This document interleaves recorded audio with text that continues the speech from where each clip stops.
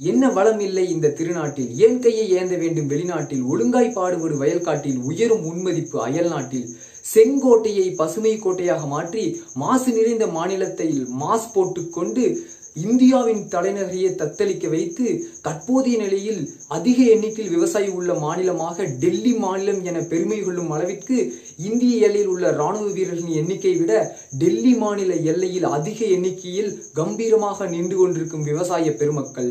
கடும் பனிப்பொழிவில் வரும் தண்ணீரை விட விவசாய பெருமக்களின் உரிமை குரலில் வரும் எச்சில் நீர் மாநிலம் முழுவதும் பொழிய புகை கொண்ட மாநிலத்தில் புன்னகை தேடி உலகையே அச்சுறுத்திய கொரோனா அசந்து நிற்க உலக அதிசயமான தாஜ்மஹலை தன்னை பார்க்க கூட யாரும் இவ்வளவு பேர் வழியேன்னு சொல்லி ஆச்சரியப்பட இந்த உலகத்தையே திரும்பி வச்ச டெல்லி விவசாய போராட்டத்தை பத்தி தான் இந்த வீடியோல பேச போறோம். நம்ம ஸ்கூல் எல்லாம் படிக்கும்போது கோடிட்டை இளங்கலை நிரப்புகளை வந்து பார்த்தா ஒரு கொஷின் வந்திருக்கும். இந்தியாவின் முதுகெலும்பு என்பது டேஷ் அப்படின்னு. அந்த டேஷை இந்தியாவில் பிறந்திருந்தால் கண்டிப்பாக ஒரு ஸ்கூல் பையன் வந்து இல்லை ஒரு பொண்ணு வந்து கண்டிப்பாக ஃபில் பண்ணியே ஆயிருப்பாங்க. ஆனால் இப்போல்லாம் கொஞ்சம் வயசுல நிறைய ஆயிடுச்சுல்ல அதனால நிறைய பேர் வந்து பார்த்தா மறக்கிறதுக்கு சான்ஸ் இருக்குது அந்த மறந்தவங்க யாருன்னா இப்போ விவசாயிகள் போராட்டத்துக்கு எதிர்ப்பாலாம் பேசிகிட்டு இருக்காங்க இல்லையா அவங்க அந்த ஆன்சரை மட்டும் மறக்கலை. அவங்க சாப்பிட்டு இருக்கிறது அப்படிங்கிறது யாருக்கு எதிர்க்க பேசிகிட்டு இருக்காங்களோ அவங்க விளைவிக்கிறதா அவங்களும் சாப்பிட்ருக்காங்க அப்படிங்கிற விஷயத்தையும் மறந்துட்டாங்க. அண்ட் இந்த ஆன்சரையும் வந்து பார்த்தா மறந்து பேசிகிட்டு இருக்காங்க. நம்ம ஜல்லிக்கட்டு போராட்டம் இந்த உலகத்தையே திரும்ப வச்சது இல்லையா? தமிழக இளைஞர்கள் பண்ணது ஒரு காளைகளோட்ட சீறி பாய்ந்து நம்ம சோஷியல் மீடியாஸோட உதவியோட வந்து பார்த்தோம்னா வெற்றிகரமாக அதை மீட்டெடுத்தோம். அதே பாணியில் இந்த மாதிரியே இனியெல்லாம் போராட்டம் வருமா அப்படின்னு நம்ம யோசிச்சிருந்தோம். ஆனால் விவசாய பெருமக்கள் நம்ம டெல்லி மாநிலத்தையே வந்து பார்த்தா இன்னைக்கு உலகமே திரும்புகிற அளவுக்கு வந்து பார்த்தா ஒரு போராட்டத்தை உருவாக்கியிருக்காங்க.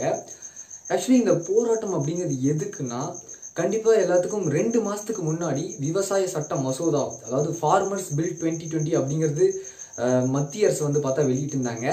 அந்த மசோதா மூணுனும் கண்டிப்பாக எல்லாத்துக்கும் தெரிஞ்சிருக்கும். தெரியாதவங்க லிங்க்ல டிஸ்கிரிப்ஷன் கொடுத்துருக்கோம். ஸோ நீங்கள் அந்த லிங்க் யூஸ் பண்ணி அந்த வீடியோ பார்த்தீங்கன்னா உங்களுக்கு தெரிய வரும்.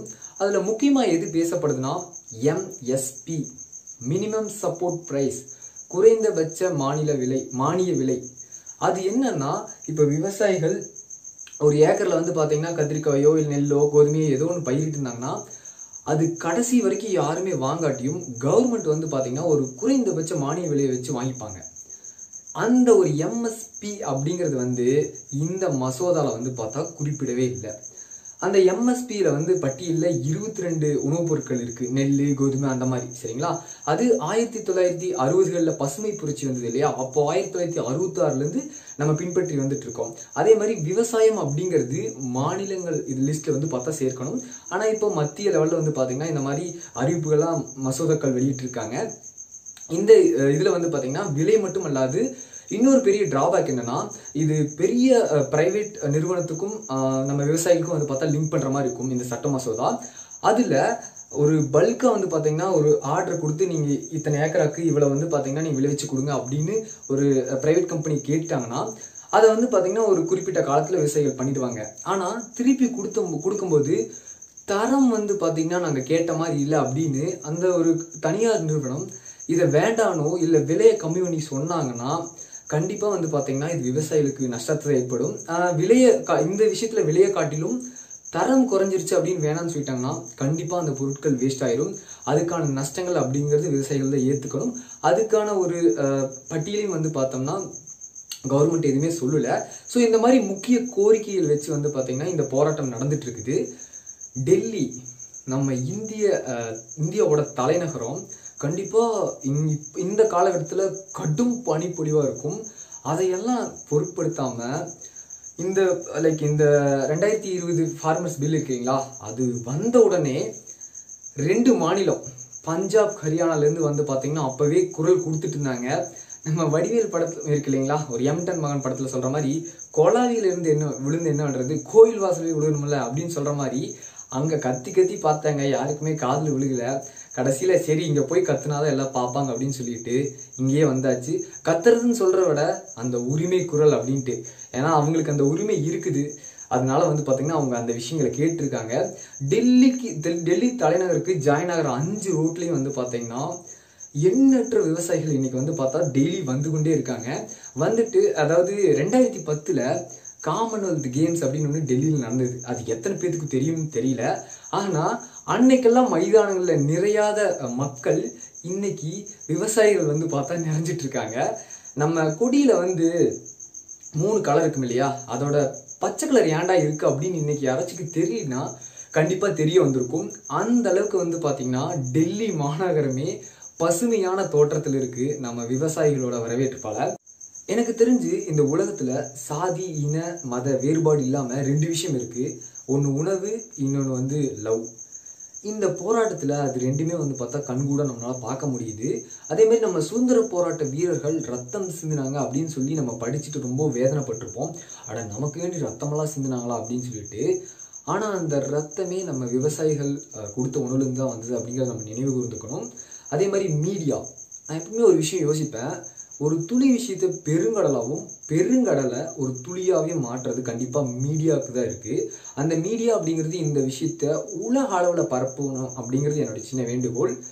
அப்புறம் ப்ரைவேட்டைசேஷன் அதாவது நம்ம இந்தியா நாடு அப்படிங்கிறது ஒரு தனியார் நாடு அப்படி மாறக்கூட வாய்ப்பு இருக்குது அப்படின்னே சொல்லலாம்.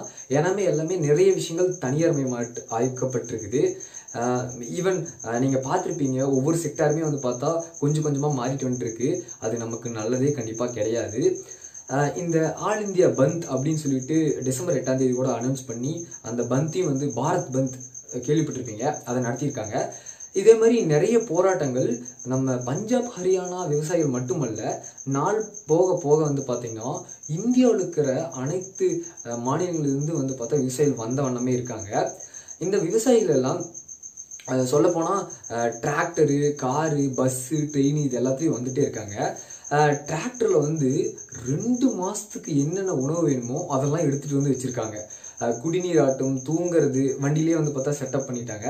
அப்புறம் பாத்ரூமு எல்லாமே வந்து பார்த்தா செட் பண்ணி நம்ம எப்படி ஜல்லிக்கட்டில் இருந்தோமோ அது அதை விட ஒருபடி மேலே சொல்லலாம். ஏன்னா அங்கேயே வந்து பார்த்தா அவங்களே சமைச்சு சாப்பிட்டுக்கிறாங்க. அந்த மாதிரி.